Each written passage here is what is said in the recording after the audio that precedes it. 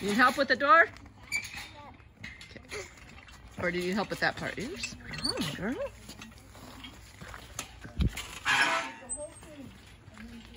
You might feel a bump, okay? You might feel a bump.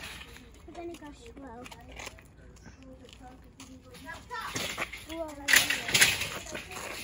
Don't go that way, sweetheart. Go the other way because of the poop.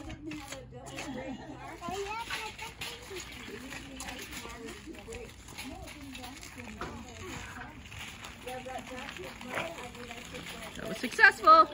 He had a regular car with, with two brakes. He was a driver's training person.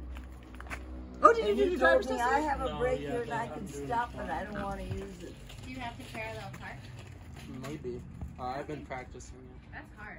I think they should test you on that because you don't It's know easy. You definitely should be tested on that. What, You they want to test test? it, see if you would get it. Because they can inspect you. That's how I got a car accident was pa- parking in a regular parking spot.